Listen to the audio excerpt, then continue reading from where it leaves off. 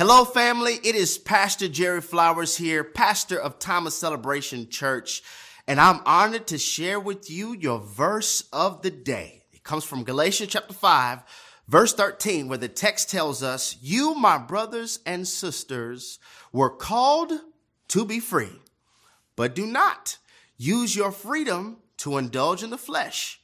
Rather, serve one another humbly in love. The apostle Paul is saying, listen, you have been called to be free. When you understand what Jesus did due to his death, burial, and resurrection, you now have this freedom.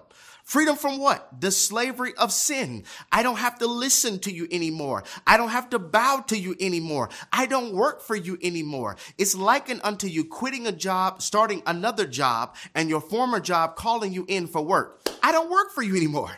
I have been set free. And this is one of the massive differences between freedom and being delivered.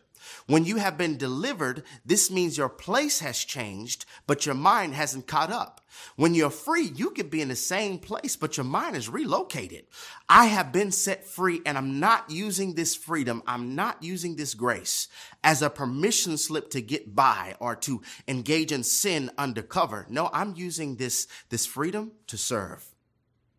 This blessing to serve. Because when God blesses me, it's for me to bless you. And when God blesses you, it's for you to bless them. This freedom is not so that you could raise your fence and hide, but rather so that you can lengthen your table and serve. You have been set free.